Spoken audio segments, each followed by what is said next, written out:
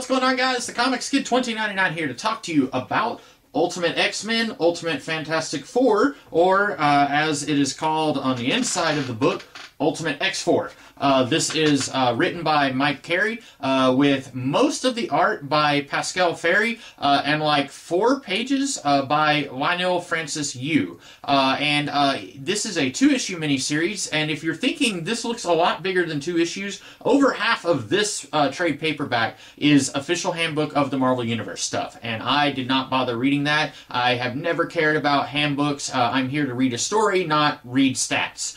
so I didn't bother reading any of that. I just read uh, the two issue uh, crossover team up here uh, between the Ultimate X Men and the Ultimate Fantastic Four. Uh, and this is set, uh, I would say, if you're looking at the entire lifespan of the Ultimate Universe, it's in the latter half. Uh, if you're specifically looking at Ultimate X Men, which that series ran 100 issues, it's in the last half of that run, I'm pretty sure. it's been a very long time since I've read any of Ultimate Fantastic Four or Ultimate X Men. Uh, specifically with Ultimate X Men, I have read uh, the Millar run and the Bendis run more recently than I've read anything else that came after Bendis. Uh, once you get past Bendis on Ultimate X Men, uh, my memories get very fuzzy. Uh, at one point here, Wolverine mentions uh, the Polaris incident that has kind of put a strain in the relationship between Nick Fury and Charles Xavier.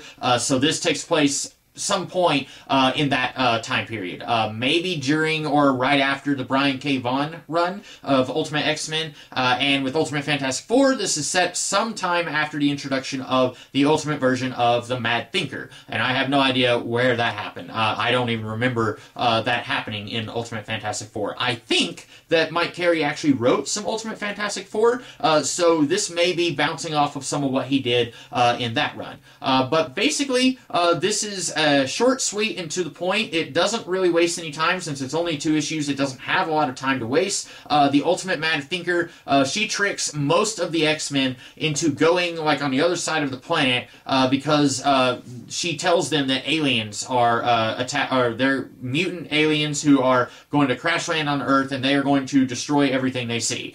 she has like somehow telepathically tricked them into thinking that an alien told them that. So most of the X Men leave the X Wolverine is not there. Uh, Professor X tells Kitty Pryde and Iceman, you stay behind just in case we all die. Someone else needs to warn humanity that this is happening. Uh, and so then uh, Mad Thinker, uh, she goes in the mansion uh, and she steals Cerebro. And then she leaves a trail to trick Wolverine, Kitty Pryde, and Iceman into thinking that the Ultimate Fantastic Four were the ones who stole Cerebro. and so then they go to the Baxter building and they pick a fight with the Fantastic Four.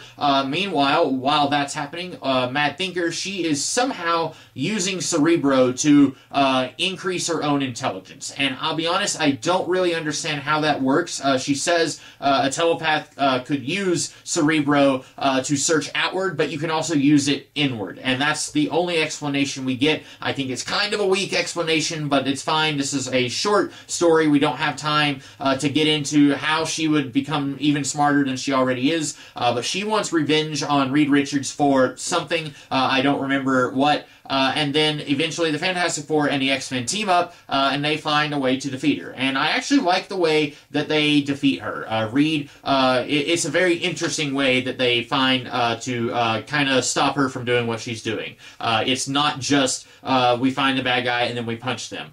so I don't have a whole lot to say about this. Uh, the art, let me go ahead and talk about that because a lot of times I forget to do that. Uh, I really like Pascal Ferry's art. Uh, it's very unique. I can't think of any artist that is similar uh, to uh, Ferry's style. I am not a big fan of Leinil Francis Yu's art style. I never have been. Uh, I never like it whenever you have a story, whether it's two issues long or six issues long, uh, and then let's say four issues of a story is drawn by John Smith, and then two issues are drawn by uh, Jacob Jones. Uh, I never like that. Uh, if I'm reading something month to month, which I don't do anymore, but back when I was, it didn't bother me as much because I'm reading an issue now, and then a month month from now, I'm reading a different issue, and I can't expect John Smith to stay on this comic forever. Uh, so obviously, at some point, there's going to be a different artist come in But when I'm reading a book, I'm looking at the whole thing as one story, and I want the one story to be drawn by one artist. Uh, and if it's a longer story, uh, if it's something huge, uh, then I'm a little more forgiving. Uh, but in that case, I want you to get uh, other artists who kind of have similar styles that work well together. Uh, and it's difficult because Pascal Ferry has a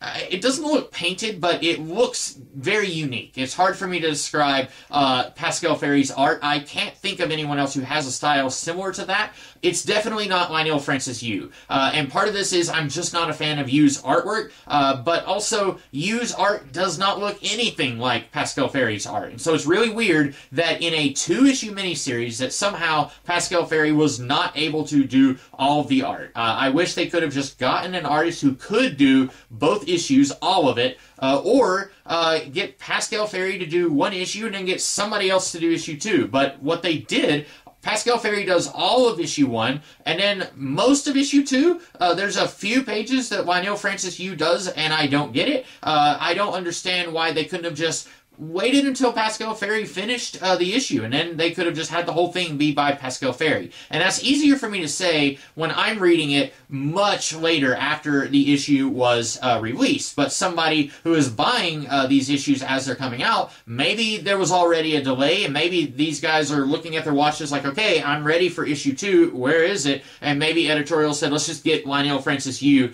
to pinch four pages. Uh, it's really, really odd to me that they didn't get uh, Pascal Ferry to do all the art or uh, get someone else to do all of the art. Someone who can do two issues. Uh, it'd be one thing if it was a 12 issue series like Crisis on Infinite Earths or something, and someone said, you know, I thought I could do 12 issues, uh, but that's a whole lot and I'm not going to be able to do it. I'd be a little forgiving, but two issues, I, I don't really understand uh, what's happening there. Uh, I will say, reading this in isolation, uh, many years after I read uh, all of Ultimate Fantastic Four, I will say the motivations of the bad guy kind of fall flat for me. I really have no idea why the Mad Thinker has uh, this uh, hard-on of revenge against uh, Reed Richards. I don't know what's going on there, and I feel like the X-Men side of things kind of stands on its own a little bit more. It's been as long, if not longer, uh, since I've read uh, the Ultimate X-Men stuff. Uh, like I said, I've read Millar through Bendis, and then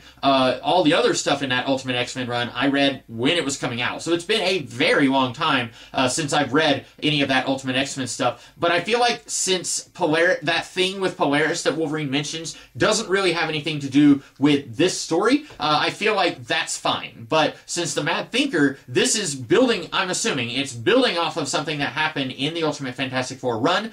I think this should have just been collected in a Ultimate Fantastic Four trade paperback. Uh, this should have just been uh, in whatever volume uh, introduces the Ultimate Mad Thinker. Uh, they did that in the Millar Ultimate X-Men run. Uh, there was a four-issue miniseries called Ultimate War, uh, where the X-Men were on the run. They were being branded as terrorists, and the Ultimates are trying to find them and fight them. and they collected that uh, as a volume of Ultimate X-Men. They didn't call it Ultimate War, they called it Ultimate X-Men Volume 4 or whatever. Uh, and I wish they had just done that with this and just said this is part of the Ultimate Fantastic Four run and the X-Men are guest starring. Uh, and then I think it would have read a little bit better if I had just read what introduced uh, the Ultimate Mad Thinker uh, into Ultimate Fantastic Four. As is, uh, I think this is a fun issue, or a fun little story. it's got some great moments in it. Uh, Johnny and uh, the Human Torch, uh, they're very similar characters. Uh, I'm sorry,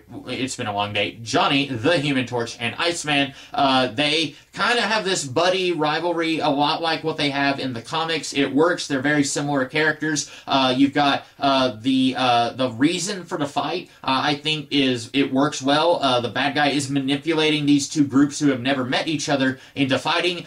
the X Men have a good reason for thinking the Fantastic Four stole this stuff from them. The Fantastic Four. At one point, Sue calls them terrorists, and uh, that makes sense based on uh, their history back uh, during the Millar run, where they were branded as terrorists. Uh, Kitty Pryde is basically drooling all over Reed Richards' lap, uh, and she seems to really be eating up his sciency uh, gobbledygook, um, which is kind of strange because I it's been a while, but I don't recall Kitty Pryde in the Ultimate Universe being uh, as much of a computer geek as she was in the main Marvel Universe. Uh, but here, she really likes Reed uh, talking about the science stuff, and then uh, Johnny is complaining like, "Well, I'm right here. Why isn't she talking to me?" And Sue uh, says like, uh, "She she dresses cheap and she's a terrorist," and that's great. I love that Sue doesn't like Kitty, even when they're teaming up. She doesn't like Kitty. I think that's amazing. I wish we had more team ups between the Fantastic Four and the X Men, so we could have more of Sue trash talking Kitty Pryde. That would have been great. Uh, I I like this. Uh, I do wish that we had more consistent art all the way through. Uh, I wish it could have been a little bit longer, but I don't think they would have been able to have stretched